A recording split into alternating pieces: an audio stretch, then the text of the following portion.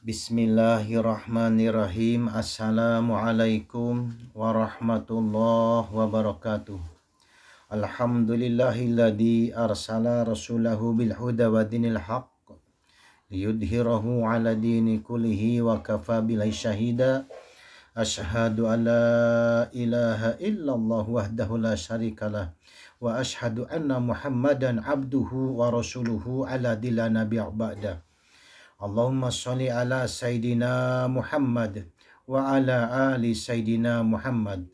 كما صليت على إبراهيم وعلى إبراهيم إنك حميد مجيد. اللهم بارك على محمد وعلى آل محمد كما باركت على إبراهيم وعلى إبراهيم في العالمين إنك حميد مجيد. رب اشرح لي صدري ويسر لي أمري واحلل عقدة من لساني يفقهوا قولي. Ayuhal hadirun ittaqullaha haqqa tuqatihi wa la tamutunna illa wa antum muslimun. Qala Allah Ta'ala fil Qur'anil Karim A'udzu billahi minasyaitonir rajim. Bismillahirrahmanirrahim. Wa la taqrabu jinna innahu kana fahisyatan wa sabila. Shadaqallahul adzim. Hadirin hadirin yang berbahagia, puji syukur kita haturkan kepada Allah Subhanahu wa taala yang telah memberikan kepada kita semuanya nikmat iman, nikmat Islam, nikmat lahir batin, nikmat sehat dan selamat, nikmat dunia dan akhirat. Dan semoga Allah subhanahu wa ta'ala senantiasa memberikan kepada kita semuanya nikmat yang abadan abada nanti yang akhir. Amin ya Allah ya Rabbal Alamin.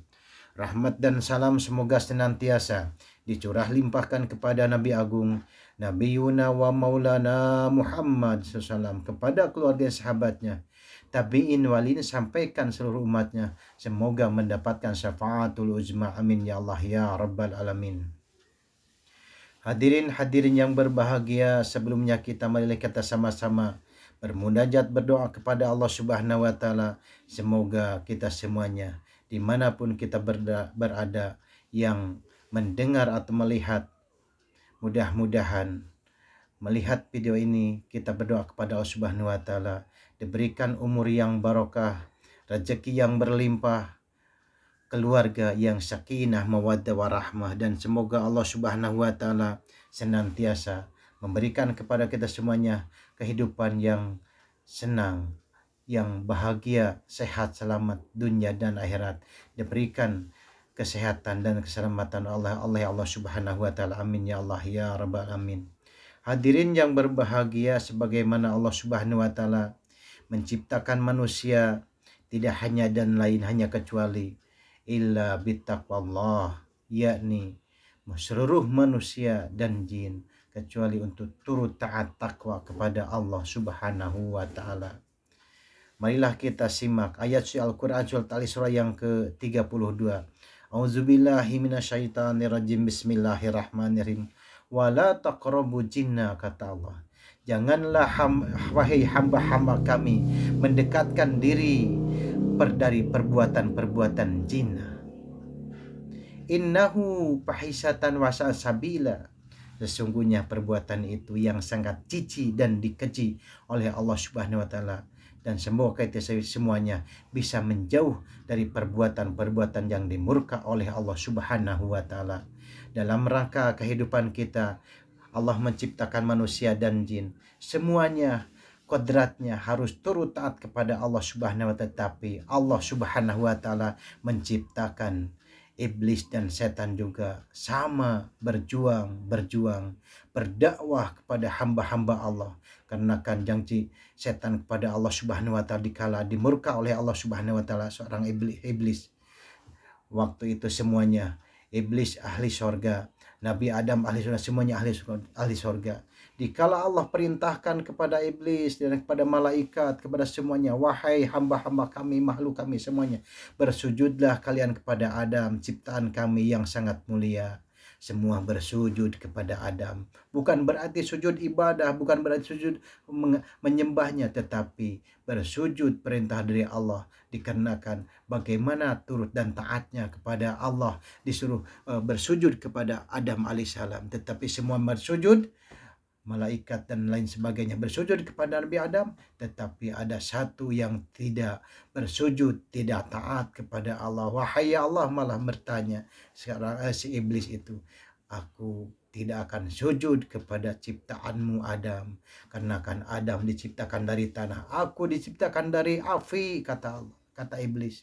Baik kata Allah subhanahu wa ta'ala. Wahai iblis dan setan dikenakan kalian tidak mau bersujud kepada ciptaan kami tidak turut taat kepada kami kamu diusir dari sorga kami kata Allah subhanahu wa ta'ala kepada iblis iblis menjawab wahai ya Allah aku reda aku rela aku ridho dikutuk dijadikan keluar dari sorgamu ya Allah tetapi ada satu permintaan kata iblis apa gerangan yang engkau pinta wahai iblis? Kata Allah.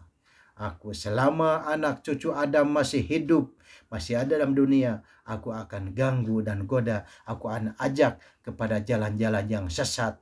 Nanti biar kami banyak sahabat-sahabat di neraka jahim, kata iblis.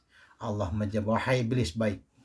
Silahkan kamu goda, silahkan kamu ganggu, silahkan kau ajak orang-orang yang ciptaan kami manusia namanya yang turut taat kepada kami tidak akan tidak akan terjemur terjerumus tidak akan terbawa arus-arus yang ajakan ajakan kamu. Tetapi, tetapi sebagian ada orang yang tidak turut dan taat kepada kami. Mungkin itu sebagian. Silahkan kamu ajak silahkan kamu bawa silahkan kamu goda.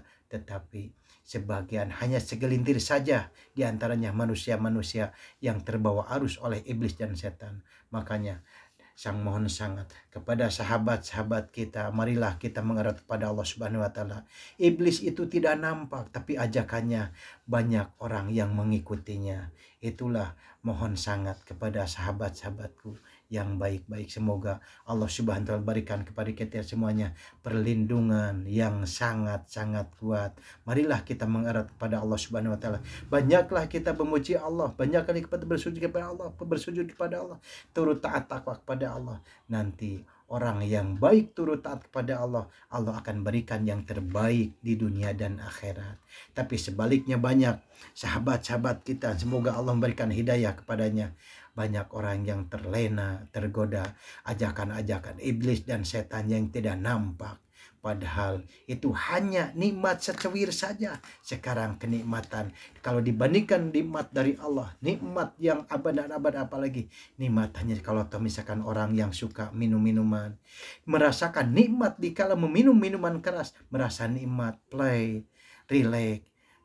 Hanya angan-angan saja. Itulah orang-orang yang mengingut, mengikuti arah-aras ajakan iblis dan setan. Banyak juga di sebagian orang, ada laki ada perempuan, kadang-kadang terlena, terbawa arus, melihat orang yang kadang-kadang mohon maaf, yang namanya iblis.